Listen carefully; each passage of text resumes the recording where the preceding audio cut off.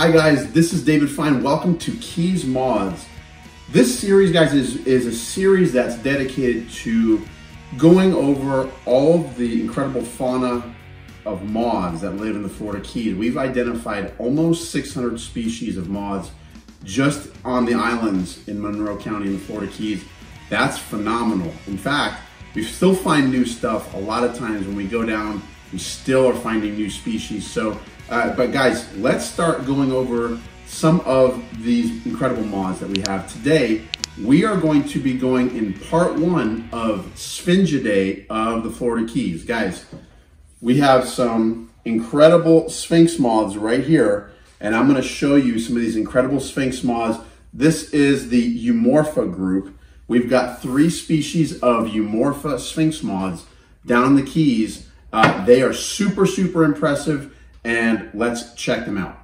All right, guys, this is a box full of moths from the Florida Keys, and I wanna show you a few of the Eumorpha species. In fact, these are five Eumorpha species that all live in Florida. Uh, the Starting with the top one, this is Eumorpha pandora, and then this guy here is Eumorpha achemon. Eumorpha pandora, beautiful moth, and Eumorpha achemon. Guys, these are found pretty much throughout the state, but as beautiful as they are, and uh, even though they feed on grapevines, which live in the Florida Keys, we do not find these species in the Keys. So we want to show you the three that do live in the Florida Keys. We have the gaudy sphinx, Eumorpha labruscae. We've got the line, or I'm sorry, the vine sphinx, Eumorpha vitis, and the banded sphinx, Eumorpha fasciatus. So guys, we'll start with the more common Eumorpha fasciatus is a incredibly common moth on the Florida mainland. Uh, it feeds on primrose willow, and it's a anywhere there's freshwater lakes or canals, primrose is a plant that grows commonly, and they they can actually be very, very common. You can easily find their caterpillars if you look for their caterpillars. And so incredibly stunning moth with these beautiful pink coloration, stuff like that. We've only found a couple of these guys in the Keys, all, only on Key Largo, and we do not believe that they breed in the Florida Keys. We think that they may be kind of uh, straying in from the mainland because it's not too far of a, of a flight from where their host plant is, but where we're lighting in Key Largo, we don't know of their host plant to occur anywhere around there.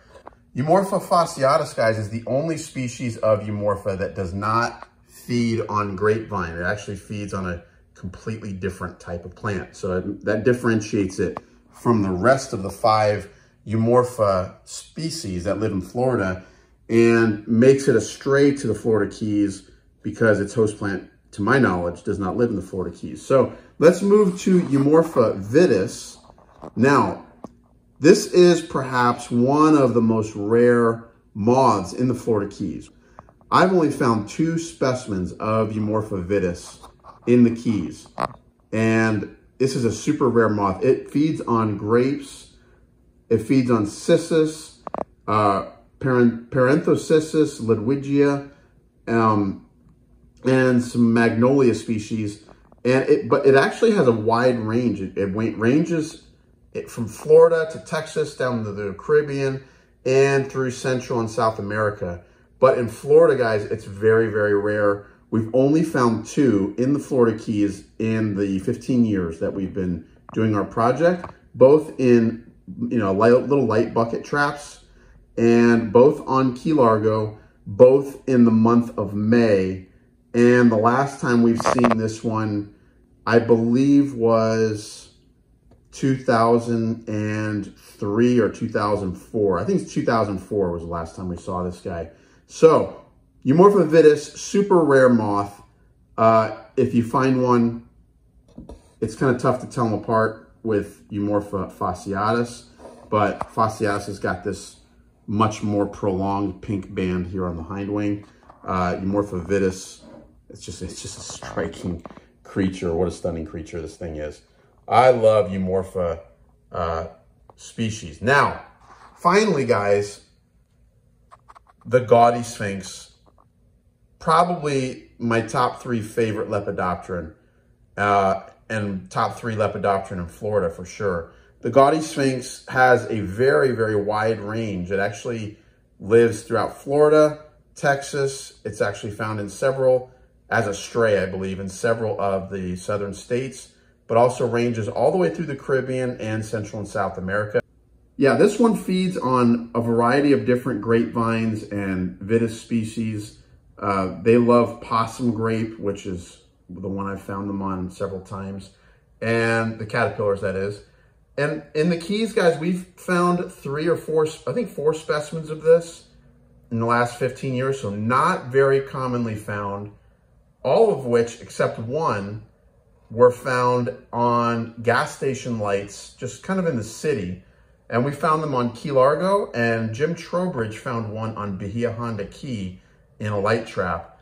And so, and here's the thing, guys, only in the winter months. We find these in November and December in the Keys, and we don't see them the rest of the year. So, does that mean they're straying in and flying in to the Keys? I don't know, but there's definitely no uh, moth that you will confuse with the gaudy sphinx. It's got these incredible green wings and thorax, incredible blue and yellow hind wing with a little red dot. And I'll even show you the underside of this guy because if there was a such thing as a key lime pie moth, it would be the gaudy sphinx. And so uh, that's a super cool bug. And guys, the Eumorpha group, they're very fast flyers, very strong flyers, and they fly uh, at twilight. They can be found visiting flowers at twilight. And, uh, but most of the time when you see them, they come to your mercury vapor lights. I typically find most of my Eumorpha species coming into the mercury vapor lights very late at night, probably actually early AM, 2, 3 o'clock in the morning is when I see most of my Eumorpha specimens come and hit the light sheet. So uh, guys, all it's a great group. Uh, Pandora more in the north, Achemon more in the north. But here's our three Keys Sphinx mods. I hope you like this video. Hope you learned something. If you find any one of these, it's definitely worth reporting pretty much anywhere you go. So guys, give me a thumbs up. Don't forget to like the video and don't forget to subscribe to the channel because we've got plenty more beauties to show you like this faithful beauty, Miato moth. Uh, Powei.